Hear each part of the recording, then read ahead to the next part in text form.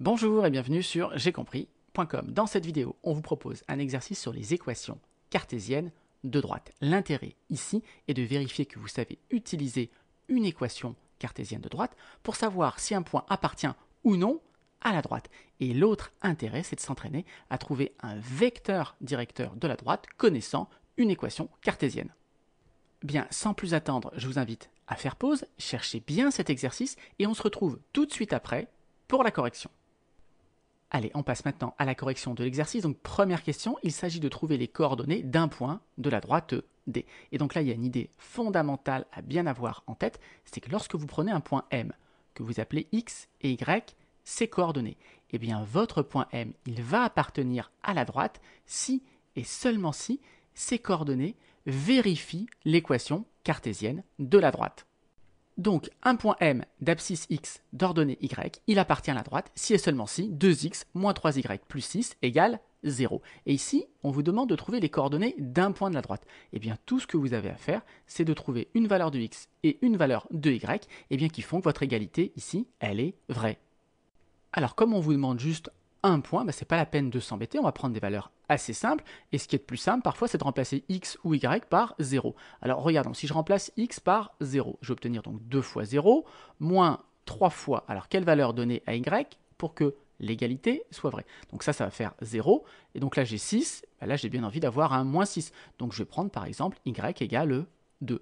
Donc si je prends x égale 0, y égale 2, eh bien mon égalité est bien vérifiée. Ça veut dire que le point de coordonnées 0, 2, il appartient bien à la droite. Donc là, j'ai trouvé un point. Et évidemment, il y a plein d'autres possibilités. J'aurais pu, par exemple, essayer avec, euh, tiens, y égale 1. Alors regardons, si y égale 1, eh bien je dois avoir 2x maintenant moins 3 fois 1, donc moins 3, plus 6 qui est égal à 0. Et là, j'ai une petite équation à résoudre. Donc moins 3 et 6, ça nous fait plus 3. Donc je dois avoir 2x plus 3 égale 0. Donc ça veut dire que 2x doit être égal à moins 3. Et donc x va être égal à moins 3 demi. Donc le point de coordonnée moins 3 demi, c'est-à-dire moins 1,5 et d'ordonnée 1, il appartient lui aussi à ma droite D.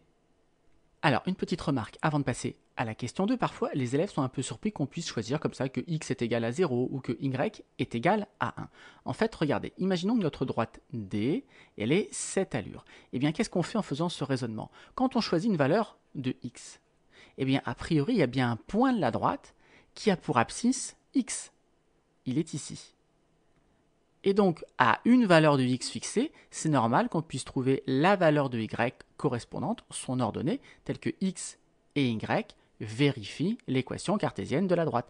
Même chose si vous fixez y, eh bien a priori vous êtes capable de retrouver une valeur de x correspondante pour avoir un point sur la droite.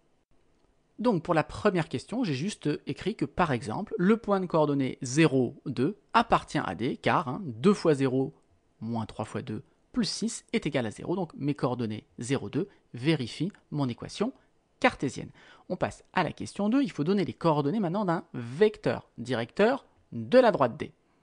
Alors, il y a deux points de cours très importants à avoir en tête sur les vecteurs directeurs. Là, j'ai pris un vecteur U, c'est un vecteur directeur de ma droite D. Qu'est-ce que ça veut dire? Eh bien, ça veut dire que mon vecteur U, il a pour direction D. Si je faisais un abus de langage, je dirais que la flèche qui représente U, elle est parallèle à la droite D. Et donc vous devez savoir que si votre droite D elle a pour équation cartésienne ax plus by plus c égale 0, alors pour trouver un vecteur directeur de D, eh bien il suffit de prendre le vecteur de coordonnées moins b, a. Ça c'est vraiment un point de cours très important. Et donc nous ici, on a a qui est égal à 2 et on a b, attention, qui est égal à moins 3. Ça veut dire que je peux prendre comme vecteur directeur, et eh bien donc moins b, donc ici ça va nous faire moins moins 3, donc moins moins 3, ça fait 3, et puis a, c'est-à-dire 2. Donc le vecteur u de coordonnées 3, 2 est un vecteur directeur de D. Alors j'insiste bien, c'est un vecteur directeur de D. Évidemment, dès que vous prenez un vecteur qui est collinéaire à un vecteur directeur, eh bien vous allez avoir un nouveau vecteur directeur. Alors petite précision, on ne peut pas prendre le vecteur nul, hein, mais n'importe quel autre vecteur collinaire à celui-ci est aussi un vecteur directeur. Donc par exemple, si je prends mon vecteur v et je multiplie les coordonnées par 2, eh bien, je vais récupérer un vecteur collinéaire. Et le vecteur de coordonnées 6, 4, c'est aussi un vecteur directeur de D. Allez, on passe maintenant à la question 3. Il s'agit de tracer la droite D. Alors regardez, à la question 1, on a trouvé un point, le point de coordonnée 0,2 par exemple, qui appartenait à la droite D. À la question 2, on vient de trouver un vecteur directeur. Eh bien, en utilisant ces deux informations, la droite D, elle est parfaitement déterminée et donc on va pouvoir facilement la tracer. Donc j'ai placé mon point de coordonnée 0,2. Je l'ai appelé A. Et maintenant, donc je sais que ma droite D, elle passe par ce point. Et elle est dirigée par le vecteur U de coordonnée 3,2. Alors, le vecteur U de coordonnée 3,2, ça veut dire que si je pars par exemple d'ici, je vais avancer de 3 et je vais monter de 2. Donc voici mon vecteur U. Et le plus simple maintenant pour bien visualiser la droite D, c'est de prendre le vecteur U et de le placer avec pour origine le point A. Ainsi, on voit parfaitement ici se dessiner la droite D. Donc je n'ai plus maintenant qu'à dessiner ma droite D. Ma droite D, elle passe par le point A et elle a pour direction le vecteur U.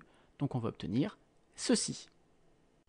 Alors notez que si vous avez utilisé un autre point, eh bien, bien entendu, vous allez retrouver la même droite. Au passage, vous rappelez qu'à la première question, on avait vu que quand y est égal à 1, eh bien x est égal à moins 1,5.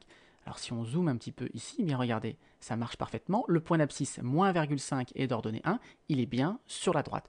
Donc vous auriez pu également dire que ce point appartenait à la droite, donc vous auriez pu par exemple relier ces deux points. Ça marchait parfaitement. Pour tracer une droite, soit vous prenez deux points dont vous savez qu'ils sont sur la droite, soit vous prenez juste un point et vous utilisez par exemple le vecteur directeur que vous avez trouvé.